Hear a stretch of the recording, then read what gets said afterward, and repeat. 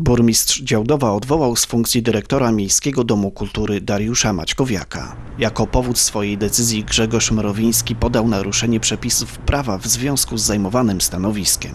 W uzasadnieniu jako powód odwołania podano upoważnienie przez Dariusza Maćkowiaka, głównego księgowego Miejskiego Domu Kultury w Działdowie, do zastępowania dyrektora jednostki w przypadku jego nieobecności w pracy, w tym do dokonywania czynności w ramach stosunków pracy oraz zawierania umów cywilnoprawnych. Doprowadziło to do niezgodnego z przepisami prawa przyznania głównemu księgowemu uprawnień do zaciągania zobowiązań w imieniu Miejskiego Domu Kultury w Działdowie. Burmistrz powierzył pełnienie obowiązków dyrektora Miejskiego Domu Kultury Sławomirowi Rutkowskiemu. Dotychczasowy instruktor Miejskiego Domu Kultury będzie kierował placówką kulturalną do momentu powołania nowego dyrektora, nie dłużej jednak niż do 17 stycznia 2018 roku.